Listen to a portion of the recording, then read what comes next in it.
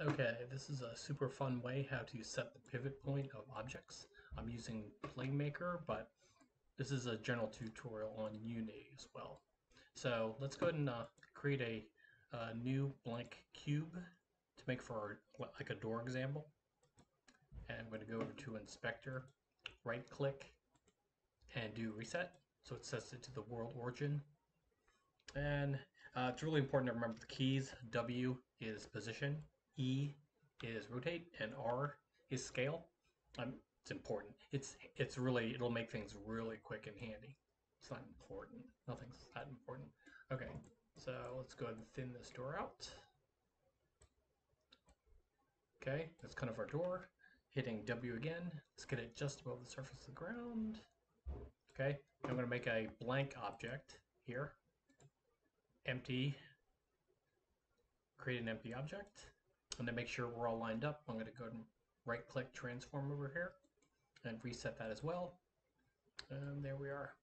So basically, if you rotate any object around, it's around its, its center.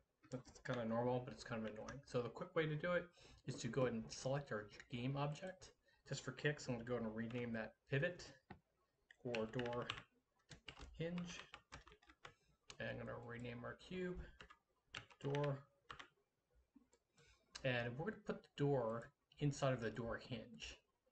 Now, just like it, it looks like, the door is a child of the door hinge.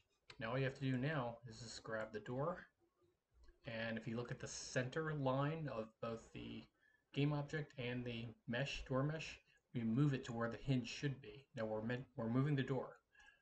And there you go. That's all there is to it. Now if you want to rotate it, you just grab the door, and now it should behave just like a hinge. And that's it. And just for fun, we're going to make a couple copies of this guy. Control C, Control V. Move him over. And I'm going to do Control V again. Move this guy over. And then Control V again. In the middle. Control V. Control V. And just for fun, we're going to go and change its rotation randomly.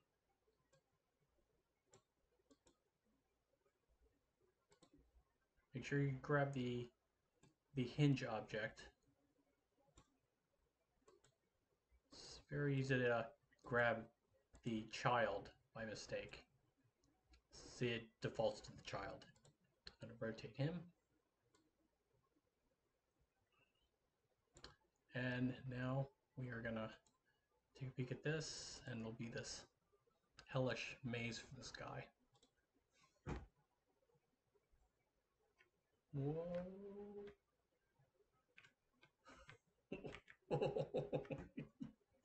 okay, I think you get the idea. what? It's getting caught up in all these these doors. But that's pretty much it. It's easy as that. Okay? Hope this helps. Bye.